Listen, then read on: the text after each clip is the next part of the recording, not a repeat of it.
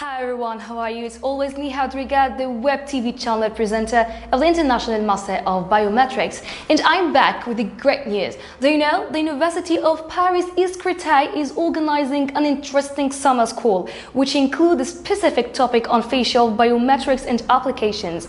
Proposed courses are related to digital face capture and measurement, face detection, face traits analysis, and of course 2D and 3D face recognition.